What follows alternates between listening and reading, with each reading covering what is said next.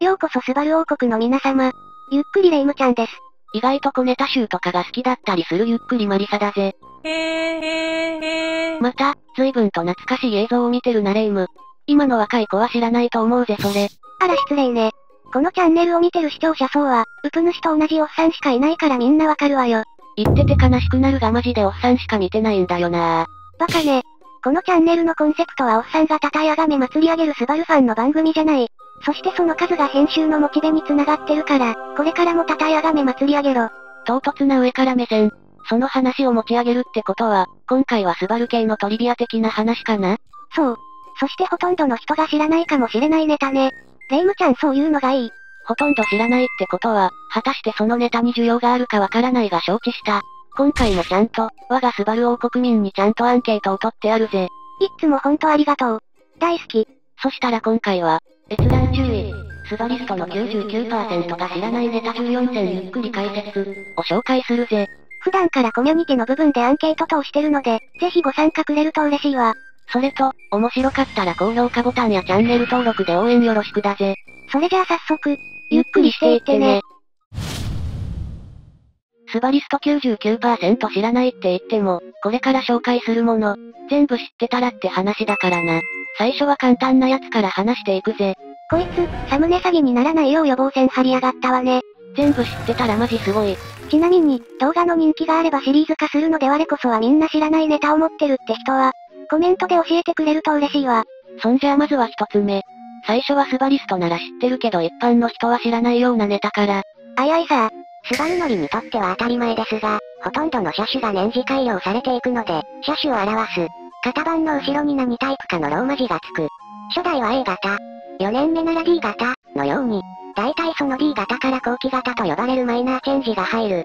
A 型と B 型はまだまだ荒削りなところがある場合が多いが C 型から熟成されていることが多い。これはスバルを知らない人からしたら、なんのこっちゃって感じだろうね。今回この動画を見てる超スバル好きからしたら知ってて当然の入門編かもしれないが、もし、知らない人がいたらこれから出てくるネタはほぼ、スバル好きしかうならない内容に、なっているからブラウザバック推奨だ。自ら視聴者を離脱させるスタイルはら、多分、スバル好きしか楽しめない内容だと思うしな。なら別のことに時間を使った方が有意義だ。てなわけで二つ目、次も入門編的なスバル好きなら多くの人が知ってる内容のご紹介。我らが WRX のカラーですね。WR ブルーは時代で色味が少し違います。インプレッサ時代は、WR ブルーマイカでしたが WRX の時代になると WR ブルーパールが使われています。こちら、気づかない人はほんと気づかないわよね。ちなみに、VA 型と言われる WRX からこの色が採用されてるっぽいな。レイムちゃんどっちも好きだけれども、ラリーの印象が強いブルーマイカの方が、どちらかというと、スバルっぽいのよね。スバルは他にも色々と限定色を出してるから、それらもかっこいいからぜひ興味あれば調べてくれ。さて、次からはだんだんとマニアックな内容になっていくぜ。そもそも、ウプ主も初めて聞く内容ばかりだったものね。まずはこちら3つ目。群馬の本工場の建物は改修こそされてるものの昭和9年から使われてる。扉を全開にするとゼロ線が翼を広げたまま出すことができますよね。群馬県大田市スバル町にある本工場のことね。この頃はスバルの前身である中島飛行機株式会社で、新工場として昭和9年に建てられたようだな。ゼロ戦のエンジンを作ってたし、その名残とかも残ってそうだな。工場の歴史は古いけど、回収されど使われ続けてるのは歴史を守ってるのかしらね。どちらにしろ知らなかったから、勉強になったぜ。お次はこちら。インプレッサについて高め、涙目、丸目の通称で呼ばれていますが実はデザインコンセプトとしては、丸目がホークアイ、先見性がある意味でをイメージしている。これ本当なの？知らなかった。色々と調べてみたが、ネット上では記載がなかったから、知る人ぞ知るエピソードなのかもな。もし、詳しい人いたらコメントで教えていただけると嬉しいぜ。さてお次4つ目は GRB の話。GRB の A 型に搭載された SI ドライブは S シャープが過激すぎてそれ以降のスバル車の S シャープはちょっと、マイルドになっているということです。ええそうなの。そうならぜひ体験してみたいものね。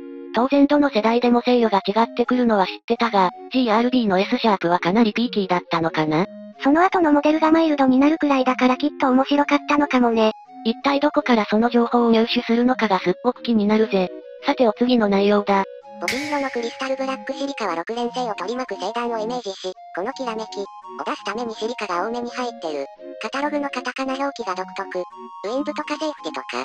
クリスタルブラックシリカってそんなコンセプトがあったのね。綺麗な黒だとは思ったけど、呼び方とかもあまり気にしなかったけど、何これ？すごい特徴的な和 A って感じわら。さて、お次5つ目の内容はこちら。プレオ、ヘッドライトのバルブ形状が IH1 という非常に採用者指数の少ないタイプを使ってたもの。だからアフターパーツが超少ない値段が他のタイプの2倍以上とすごく高かった。当然ながらそのままの型で対応する LED バルブは存在しませんなお、特別仕様車の。プレオ、ネスタは国内車種最多の H4 バルブを採用なんで最初からそっち使わんかったんや。レイムちゃん全然わからないけれども、こういうの結構あるらしいわね。そうだな。これ共有できるのに肝心のこの部分が共有できなかったりとかな。このシリーズだけできっと募集かけたらできそう。車自分でがっつりいじる人あるあるみたいな。そいでお次6つ目は、コメントで色々とみんなが盛り上げてくれたやつ。ハンドル開け閉めでドアロック解除できる機構が過去の車種に存在した。エンジンの左右シリンダーには AA、AB、BB など組み合わせがあり AA が一番精度が良いと思われていた実際は違うが、昔のスバル社の伝送品は日産製だった。日産製というよりはカルソニックね。高め GG2 のパワーウィンドウスイッチの裏に日産マークが入っているのを見た時は驚きました。あとは日産アベニールと2台目インプレッサはヘッドライトレベライザースイッチが一緒だったり。スバルは GD、GG 系の頃までは日産系列だったため、日産と共用部品が多かったです。伝送スイッチ類は、日産系列のないルス部品という会社が多かったはずです。GM 破綻により、トヨタがスバルの株を買い付けたことにより、東海理化製が多くなっています。モデルで言えば、BM レガシーをですね。純正スピーカーなどは、すでにトヨタ社と共用しています。今はトヨタと共通部品が目立ちますね。うーん、この流れるような知識の応酬。さすがスバル王国の知識人。ウプ主にそんな細かい知識はないからな。いつも盛り上げてくれて嬉しい限りだ。でも、日産系列と同じ部品使ってたのはびっくり。日産の刻印が出てきたらおったまげよ。今は完全に天下のトヨタ様と二人三脚状態だからな。昔の車ならではのことだろうよ。お次7つ目はかなり濃い内容。ってことで、補足はコメントでよろしく。あ、こいつちんぷんかんぷんだからって、視聴者さんに放り投げた。レオーネの設計を有用してるアルシオーネ初代だけど、実は後期から設定された 2.7VX だと、ギリギリ5ナンバーを超えてスバル最初の3ナンバーになる。ER27 と EG33 それぞれアルシオーネ用はベースになった。エンジンがあるが、レガシー用の EZ30 は実は EJ20 とは関係ない新規設計。EZ30 は最新技術をふんだんに使って、小型軽量に仕上げてあるそうで、EJ20 ターボとほぼ重量、サイズが変わらない。あとは三菱のゼロ戦が中島の境を積んでるって有名な話があったり、軽量高出力が売りだけど、信頼性が、ないことで有名な誉れはアメリカのテストで整備と燃料がまともなら普通に高性能エンジン。つまり日本の手には余るものだったとか。GC8 の後期型と S201 に詰めたでかいウィングは、当時の富士重工の航空機部門が本気を出して開発した結果デザインと重量を無視されたって有名な話とか。待って待って、情報が濃すぎる。理解が追いつかないわ。でも個人的には、誉れのエンジンが後に高性能エンジンだと評価されるのロマンを感じるな。富士重工の航空機部門の本気をウィングで見せたってのもなんか感動しちゃう。こういう裏話、どうやって見つけてくるんだろうな。でも聞いててめっちゃ楽しい。お次8つ目、みんな大好き GC8 について、インプレッサ GC8 の意外なオプション WRC レプリカ用ステッカー。これは有名ですが、スピーカーブラケット、スピーカー配線、パワーウィンドウ、エアコン、アンダーガードボビ下が総鉄板仕様になる、リアタワーバー、マットフラップ、友人と自分が実際に装着したオプションですが、他の友人も変なオプションつけてました。当時のやつが調べても出てこなかったけれど、GC8 ってそんな変わったオプションとかもあったの？今の車では決して考えられないようなオプションとかがあったのかもしれないな。当時を知るスバル好きなら知ってて当たり前だが、今の人は知らないことが多いと思う。ってことは、当時を知る人に聞いた方が手取り早いわね。ってことでコメントよろ。流れるように他人だよりをする。お次は9つ目。もうだんだんと疲れてきたので、これ終わったら駆け足で行くぜ。安定の編集疲れ。わかります。スバル360は伊勢崎第2工場がボディ、エンジンは三鷹製作所で開発され、三鷹製作所で生産された、聖地の大田市にある群馬製作所はノータッチです。今のミニバンについているスライドドアなるものは3バーについたのが最初。アイサイトの前身は ADA なるミリ波レーダーを使った安全装置で車間距離警報、車線逸脱警報、車間距離制御クルーズコントロール、カーブ警報制御という今のアイサイトにつながる4つの機能を搭載しました。かの有名なスバル360は本工場じゃなかったんかい。確認はできなかったが、スライドドアってサンバーが最初だったのか。ここら辺、有識者もトムだぜ。それにしても、どっからそんな情報がわら。スバル王国の賢者たちマジすごい。さて、時間も押してきたからここからは、駆け足で一気に紹介するぜ。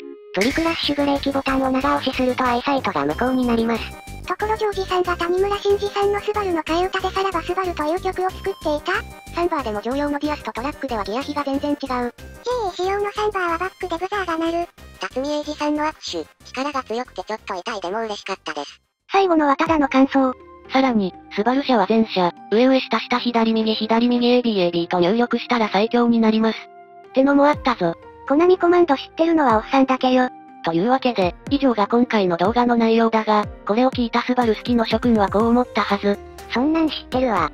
もっとすごい話はいなら知っとるでー。ってな。そんな人はぜひ、コメントで自分の知識を披露してくれたまえ。という名の、知識こじきオツであります。みんなの挑戦、待ってるぜ基本的に、YouTube のコミュニティで動画企画のアンケート等を行っておりますが、画像や動画を使った企画については、Twitter を中心に募集しておりますのでそちらも覗いて、いただけると幸い。動画の概要欄にリンクを載せてますのでそちらからフォローよろです。また、企画等の募集もしてるので、コメントいただけると嬉しいわ。ついでに面白かったら高評価、まだの人はチャンネル登録もよろしく。それではまた次回の動画でお会いしましょう。最後までご視聴、ありがとうございました。